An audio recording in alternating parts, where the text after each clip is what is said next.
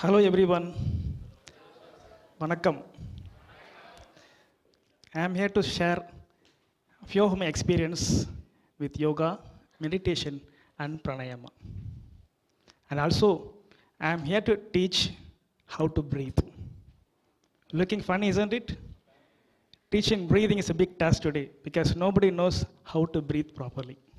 At the end of the session, we are going to see how to breathe ourselves.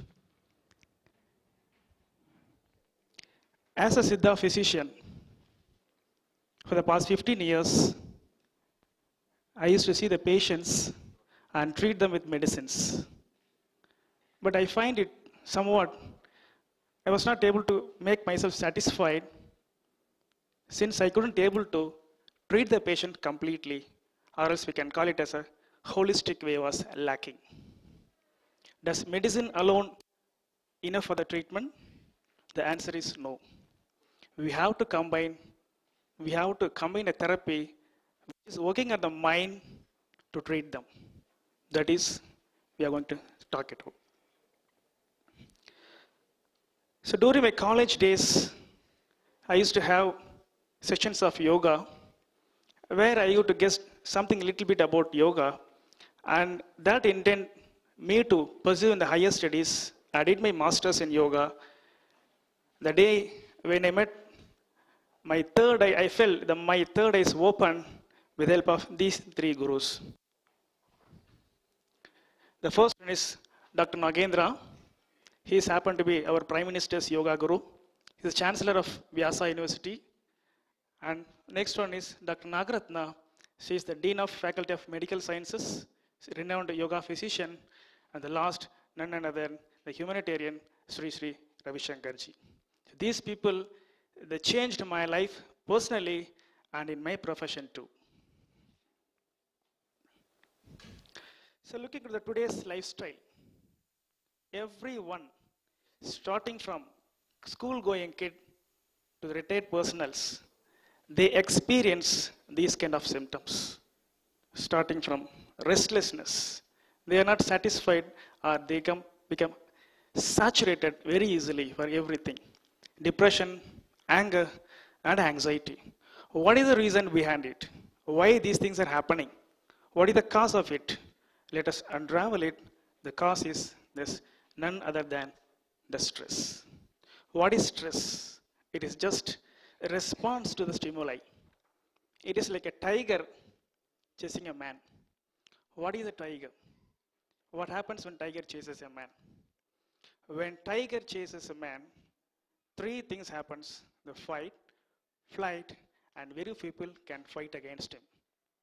Likewise, here the tiger is peer pressure, deadline fixed by the boss, family responsibilities, target and ambitions given to us. So these things from individual to the society, we face these kind of problems.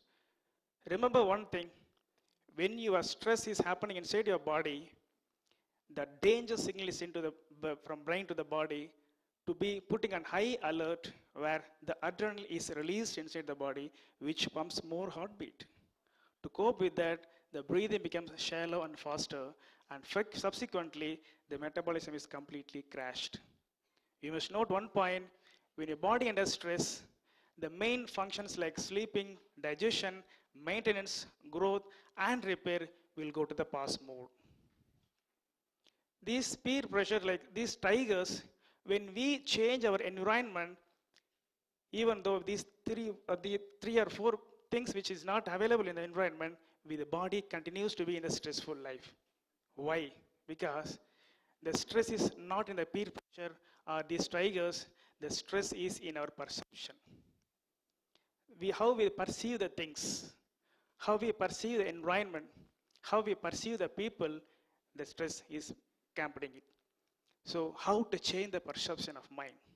When we change the perception, automatically we will be completely in the relaxed phase. That is the thing the yoga helps you. How to change it?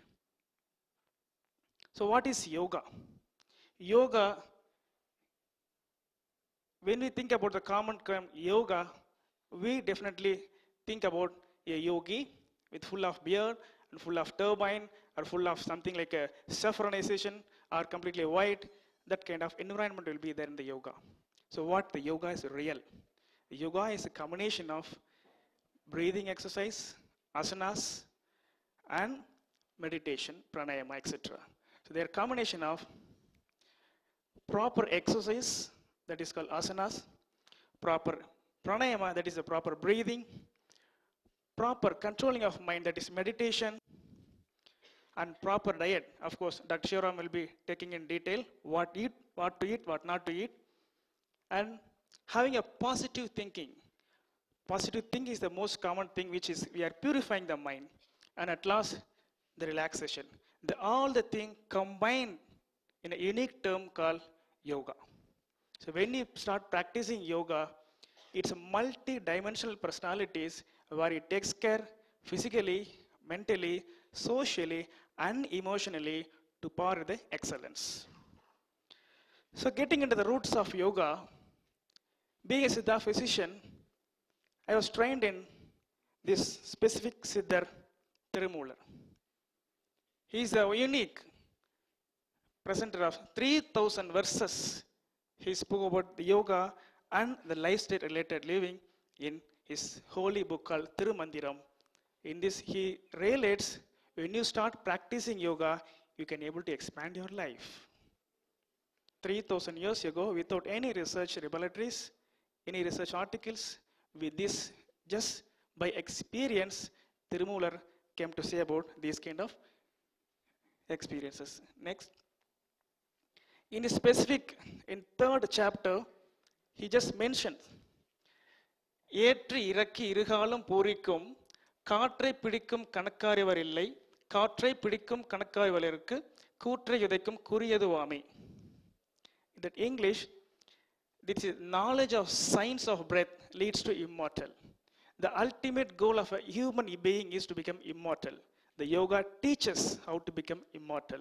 That is the concept of Tirumandram, that is the concept of Tirumular. One who knows how to breathe, one who knows the science of breathe, automatically can able to win the death race. So what is pranayama? The prana is the life force which we get from cosmic and yamam is expanding or enlarging or having a control over it. That is pranayama. The pranayama is a conscious control of expansion of the life force. That is the specific meaning of pranayama. At the end of pranayama, when you practice pranayama, at the end of pranayama, you'll be having the increased secretion of saliva. Usually, we, when we have a saliva, we used to spit it out. We don't know the importance of saliva.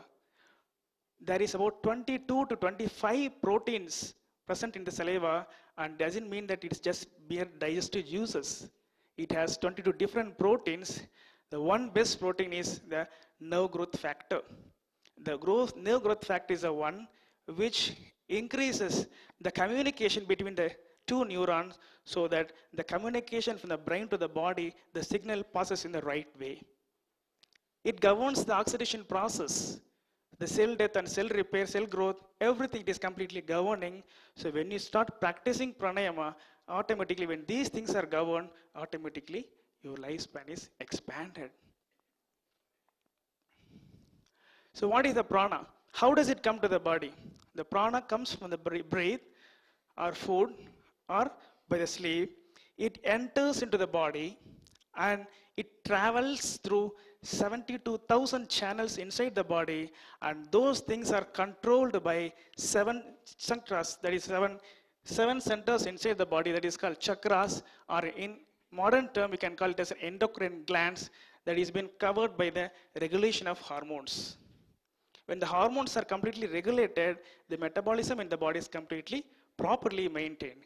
This is the way it goes. When mind is completely normal, that is controlling the sympathetic and parasympathetic nervous system. When that is in the normal phase, automatically your endocrine system is in the normal way. When the mind is completely crashed out, your nervous system is out of control. And when nervous system is out of control, your hormone system is completely collapsed. Then you will get n number of problems like irregular periods, or thyroid problem, or diabetes, or whatever the problems which face today. Coming to the prana source, These three are the best source of prana. How do we get the best source of prana? First is food. Second is the sleep. The third is the breathe what we take. Coming to the food, proper food in proper time should be taken. I don't want to go much into the food because Dr. Shivaram will be handling that. Second, sleep. We should have a self test how long we are sleeping. Simple test we can have it. Every day you get up in the morning, just visualize, try to view the WhatsApp. See your friend's WhatsApp, last seen. It will be like 2 o'clock or 3 o'clock or sometimes even 4 o'clock. Just try to see them at what time they went for the sleep.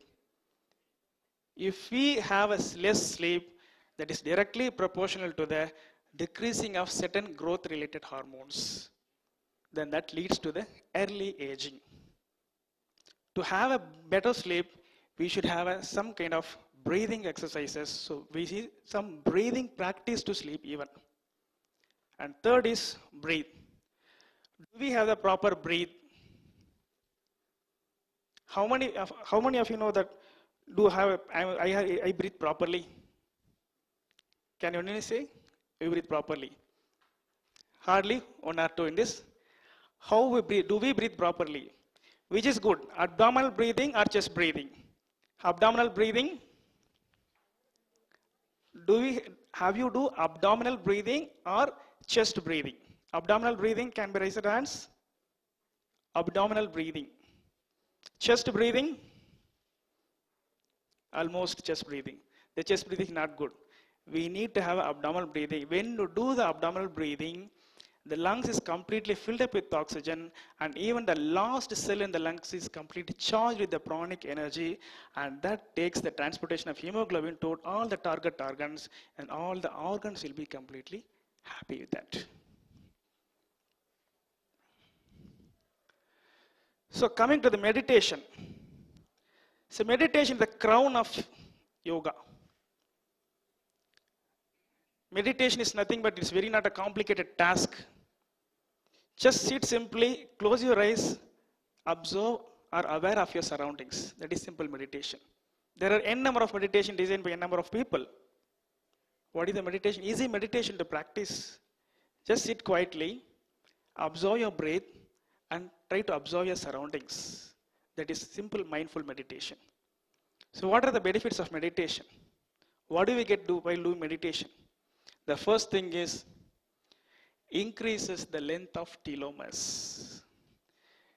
This is the simply when you practice yoga, you can expand your life. This is Tirumular said 3000 years ago. Now today, people of Harvard have come out with a research.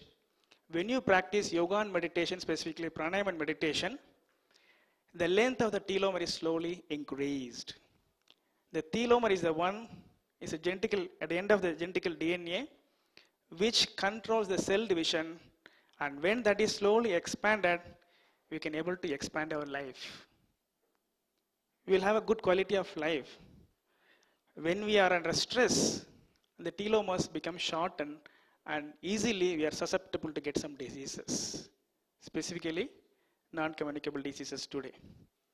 So, when we start practicing yoga and meditation, we can able to expand the telomeres length and governs the oxidation process, governs the aging of the process. Oxidation of cell is controlled by meditation. And the third is neuroplasticity. When you start practicing meditation, your brain structures changes. Specifically, after 45 or 50 years, people used to say the brain starts shrinking. We can able to prevent the shrinking by practicing meditation. We can able to rewire the brain. The communication between the neurons will be established very quickly. So the people suffer from Parkinson's or Alzheimer's disease will be completely highly benefited by practicing meditation. That is the neuroplasticity by practicing yoga. And when you start practicing meditation, specific hormones, good hormones like serotonin, melatonin, endorphins, GABA, and specific dopamine will slowly increase in your body to prevent the basic stress hormones entering into the body and taking the chance of spoiling it. This is the specific benefit of meditation. And when you start practicing meditation, you can see the face. The right one is meditative face, and the left one is non meditative face. Would you like to have the young face? Yes or no? Then start meditating.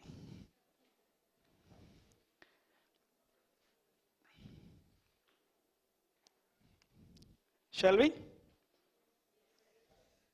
Are you ready? Okay. Sit comfortably.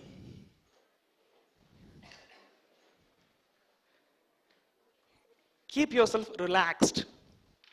Don't have anything on your thighs. Just keep your notebooks, water bottles, bags aside. Good. Five rounds, we have to inhale through the mouth. Sorry, inhale through the nose, exhale through the mouth. Let me just demonstrate.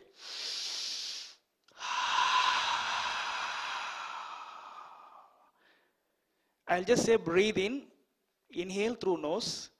When you start exhaling, just in uniformly, we'll just say ha.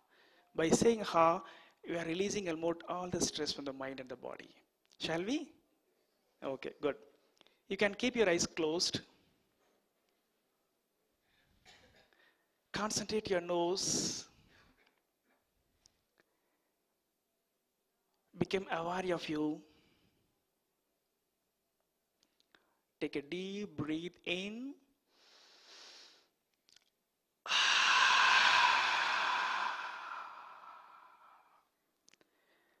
Take another deep breath in.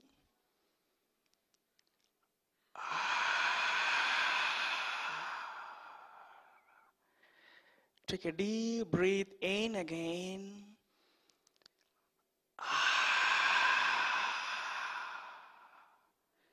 Next round, take a deep breath in. Ah. Last round, take a deep breath in. Ah. Close your eyes, just observe your breath. Getting in, coming out.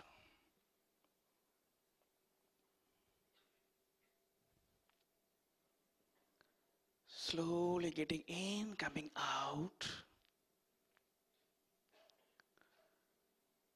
When you inhale, get your concentration to the tip of the nostril.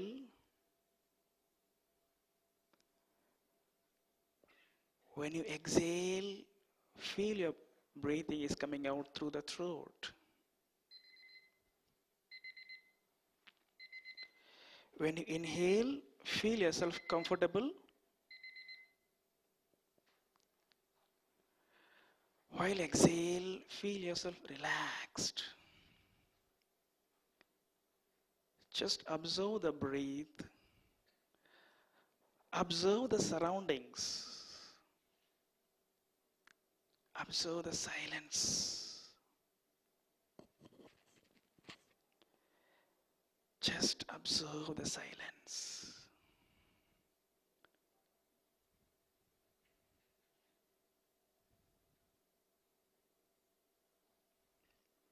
Feel yourself completely relaxed.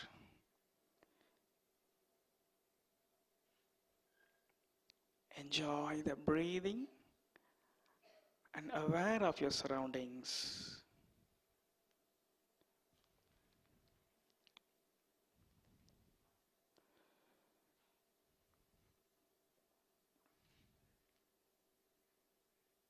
Become aware of your surroundings and enjoy the situation. Enjoy it.